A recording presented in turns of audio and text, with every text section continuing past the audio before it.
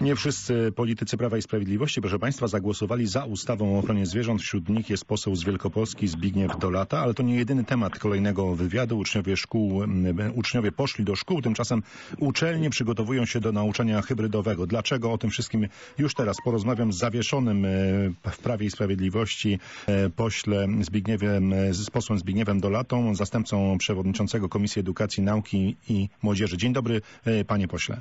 Dzień dobry. Pan poseł został zawieszony w prawach e, członka Prawa i Sprawiedliwości. Jak się pan z tym czuje? Spodziewał się pan takiej decyzji? No nie, oczywiście wiadomo, że nie, nie czuję się e, z tym dobrze i e, no, decyzji można się spodziewać, biorąc pod uwagę regulamin klubu, więc no nie jest to nie jest to komfortowa sytuacja. Dlaczego wobec tego głosował pan przeciwko ustawie o ochronie zwierząt wbrew zaleceniom prezydium klubu, no i wyraźnych ostrzeżeń też e, prezesa Kaczyńskiego? No ja jestem, jestem od 15 lat członkiem e, Komisji Rolnictwa i Rozwoju Wsi i uznałem, że część zapisów z tej ustawy, bo generalnie co do, co do zasady, że należy zwiększyć e, zakres ochrony e, zwierząt i poprawiać ich e, dobrostan, się zgadzam. Natomiast część zapisów tej ustawy wydawała mi się e, po pierwsze za daleko idąca, a po, drugie e, niekorzystna dla e, polskiego rolnictwa. Myślę, że myślę, że e, te zapisy e, mogły być e, zmodyfikowane bez e, uszczerbku dla tego celu głównego, który, tak jak powiedziałem, popieram. Ustawa trafiła do, trafi do, trafiła do Senatu, wróci później do Sejmu i jak się pan wtedy zachowa w kolejnym głosowaniu?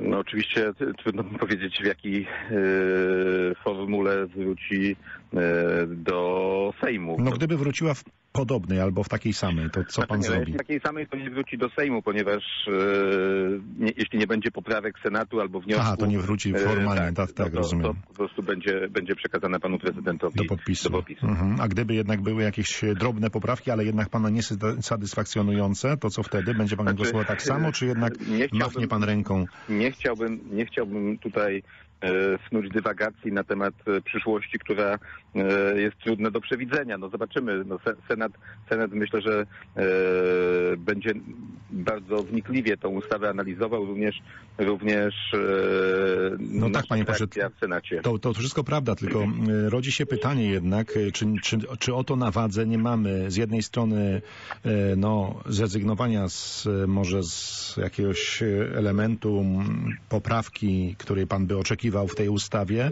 a z drugiej strony być może też e, cele i przyszłość Zjednoczonej Prawicy, no bo tutaj okazuje się, że ta sprawa, te zawieszenia też e, mogą mieć ogromny wpływ na dalszy bieg zdarzeń, prawda, polityczny. Ja jestem w i Sprawiedliwości od e, samego początku, od momentu powstania tej frakcji, tej formacji, e, czyli już e, od ponad 18 lat, 19 lat właściwie. Jestem bardzo lojalnym członkiem e, i partii, i klubu parlamentarnego. E, zgadzam się i w pełni popieram realizację naszego, naszego programu i nie widzę No ale mimo zaleceń Żadnych- zagłosował pan inaczej jednak. no tak, no w, tej, w tej konkretnej sprawie, ale, ale spraw, nad którymi głosowaliśmy, były tysiące y, i y, nikt mnie nie musi przekonywać do, do popierania naszego programu, bo, bo mam, mam y, to wewnętrzne przekonanie, że to jest bardzo dobry program dla Polski. No i dlatego właśnie panie pośle pytałem, czy, czy gdyby ustawa wróciła jednak z Senatu, ale bez tych poprawek, których by pan oczekiwał, e, czy pan wtedy zmieni zdanie i jednak odpuści, mówiąc e, potocznie?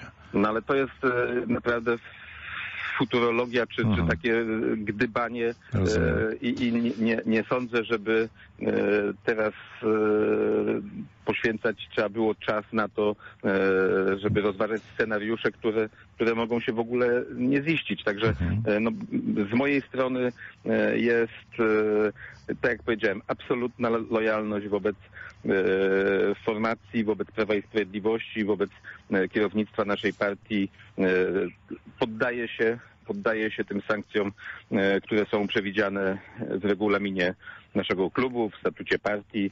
E, No to jest, to jest rzecz oczywista, że jeśli ktoś złamał e, regulamin, no to powinien ponieść konsekwencje. Ja się, ja się e, z tym e, godzę, ale też no te konsekwencje... Ale jakie to mogą być konsekwencje jeszcze? No na razie jest pan zawieszony, ale czy... No jestem zawieszony, więc e, no to są poważne konsekwencje. No, Mhm. to, to nie jest, tak jak powiedziałem na początku, przyjemna Tak. sytuacja dla mnie, dla człowieka, który, który znaczną część dorosłego życia Jasne. poświęcił partii, więc to, to, to już jest dla mnie bardzo dokuczliwa e, sytuacja. Sytuacja, mhm. A ja myślę, że kolejnymi swoimi działaniami e, dam dowód e, tego, że nic się nie zmieniło, jeśli chodzi o moją lojalność i, i jestem, jestem przekonany, że będę mógł dalej e, brać udział w realizacji e, tego programu, który Polacy e, poparli dzięki Polakom e, sprawujemy władzę.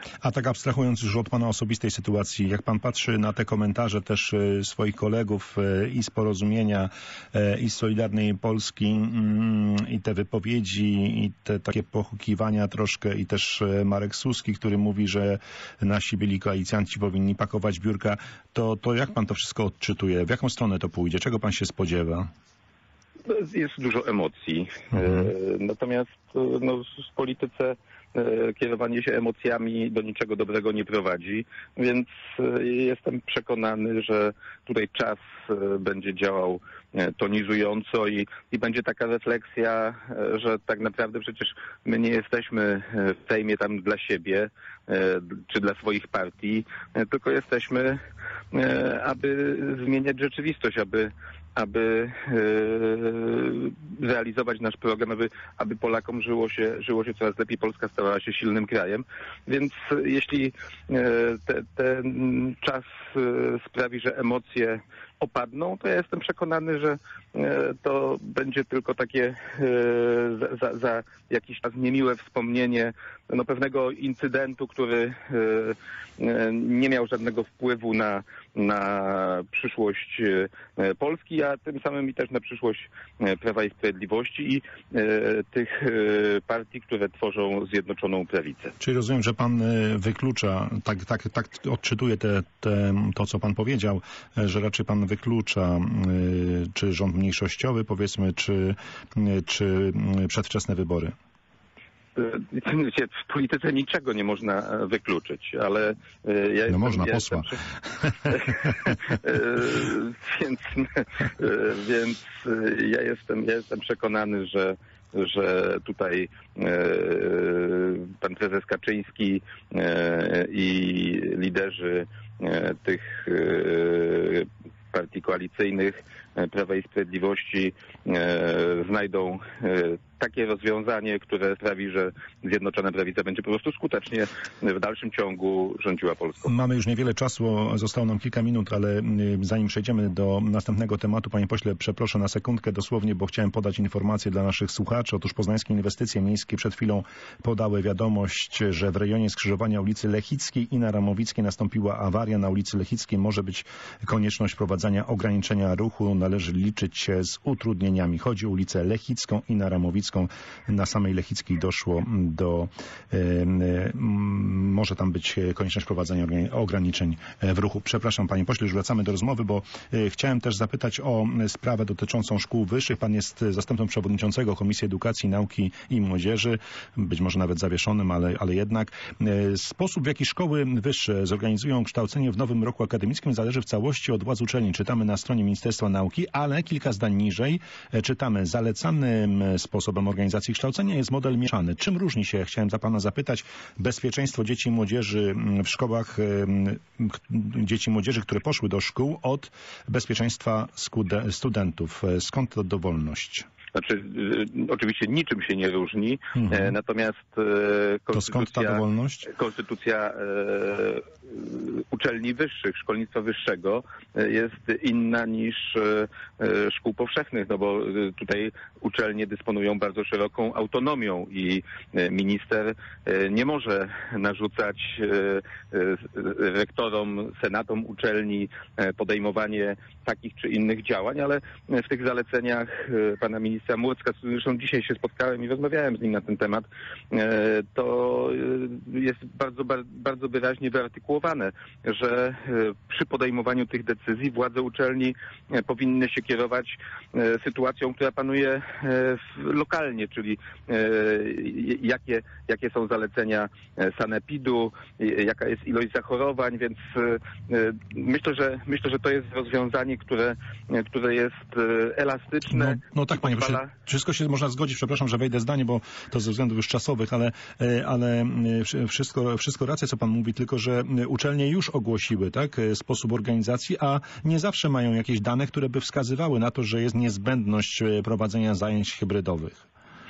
No Ja, ja tylko uzupełnię, że jeśli chodzi o, o szkoły podstawowe czy szkoły średnie, to też jest bardzo duża rola dyrektorów szkół i organów prowadzących, także tutaj też nie minister To, to edukacji prawda, to prawda, narodowej, wiadomo. e, tylko, tylko właśnie lokalnie dyrektorzy szkół w porozumieniu z samorządami e, i oczywiście w oparciu o, o sytuację, która tam e, na danym terenie panuje. Więc tutaj jeśli chodzi, jeśli chodzi o możliwość zdobycia informacji, która miałaby służyć senatom uczelni czy rektorom w podejmowaniu decyzji, no to, to, to nie ma żadnego problemu, żeby, żeby to dobrze zdiagnozować. Minister zaleca, bo to też jest e, myślę, że istotne, zaleca jednak e, powrót do tradycyjnej e, formy e, prowadzenia zajęć ze studentami. No to chyba, że jest jakieś nowe rozporządzenie, bo jeszcze w tych Nie, zaleceniach, które... rozporząd... nie rozporządzenia Znaczy, nie ma. może nie, natomiast... tak, ale na, na, na stronach właśnie mm, Ministerstwa Nauki, to od czego rozpocząłem ten wą- wątek rozmowy, zalecanym sposobem organizacji kształcenia jest model mieszany, pisze mm, ministerstwo. Jest, jest wystąpienie świeże Aha. kilku dni pana, pana No, no to właśnie chyba to samo natomiast, czytamy. Natomiast, natomiast To inaczej. e, tutaj, tutaj e, no, trzeba też uwzględnić specyfikę danych studiów. Tak? No wiadomo, że e, ćwiczeń na Akademii Medycznej nie da się przeprowadzić zdalnie, prawda? Czy, czy na Politechnice. Natomiast, natomiast zajęcia e, dla studentów historii czy socjologii, no już można, można e, w wariancie, w wariancie tym mieszanym, czy wręcz e, zdalnym prowadzić, aczkolwiek oczywiście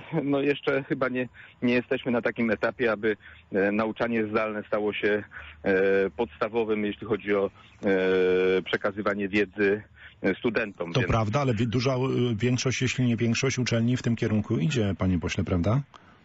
Jednak E, hybrydowego nauczania, mieszanego. Zgadza się, no ale to wynika, wynika też i z e, ostrożności e, władz uczelni, które e, no na razie jeszcze jakby nie mając, nie mając e, wiedzy na temat tego, jak e, przyjęcie tego modelu tradycyjnego w, sz- w szkołach wpłynie na rozwój sytuacji epidemicznej, no to starają się dmuchać na zimne, ale No. myślę, że e, Mhm. wkrótce będziemy już mieli odpowiedź na, na te wątpliwości, no bo e, obserwujemy, prawda, jak, jak e, już jesteśmy przecież e, po trzech tygodniach e, nauki e, w szkołach, no i obserwujemy, że jakiegoś dramatycznego wzrostu No e, tak. zachorowań nie ma. To, to prawda wszystko, y, panie pośle. Jeśli ograniczenia w, sposób, e, w sposobie organizacji zajęć, to można, jak w przedsiębiorstwach, e, szkoły też powinny wykorzystać ten okazję i czas, e, żeby przeprowadzić restrukturyzację w zatrudnieniu, gdyby chciały zostać przy online'owym e, nauczaniu, no bo to jednak i, i, i- mniejsze ko- wykorzystanie lokali i tak dalej, i tak dalej, co cała, już nie, ani już nie mówię o całym innym wątku dotyczącym, em, e, dotyczącym skutków dla e, miast, które żyją ze studentów, prawda? A, to to są jest- wynajmy tak, jest- mieszkań, gastronomia i tak dalej, no to jest cała, cała gałąź, można powiedzieć, gospodarcza. Dokładnie tak. No to, to, to jest rzeczywiście pewien problem na, na pewno dla, dla takich ośrodków, które rzeczywiście e, są dużymi ośrodkami akademickimi, e, ale myślę, że, te, że też e, tutaj no sami studenci chcieliby, żeby, żeby była e, jednak, żeby był powrót do tego, tego studiowania tradycyjnego, no bo e, ci, którzy na przykład rozpoczynają studia w tym roku, no na początku być może w ogóle nie poznają koleżanek i kolegów z roku, prawda? O tych tak- elementach już nawet nie mówię, dokładnie. No właśnie, no Dokładnie. właśnie. Bardzo dziękuję panie pośle. Jak widać ten temat y, jeszcze będzie pewnie przez nas nieraz y, omawiany y, i możemy się umówić też na kolejną dyskusję już jak rozpocznie się rok akademicki. Dziękuję serdecznie za rozmowę. Dziękuję Życzę bardzo. panu oczywiście dobrego weekendu, takiego, nie wiem, może spaceru w lesie ze spokojem, żeby troszeczkę nabrać sił i, i przemyśleń. Dziękuję bardzo. Wszystkiego Dziękuję dobrego, bardzo. Kłaniam się nisko. E, Do widzenia. E, widzenia. Poseł Prawa i Sprawiedliwości, co prawda zawieszony e, właśnie, ale mm, członek Prawa i Sprawiedliwości Zbigniew Dolata, zastępca przewodniczącego Komisji Edukacji, Nauki i Młodzieży, był gościem Wielkopolskiego Popołudnia z Radiem Poznań.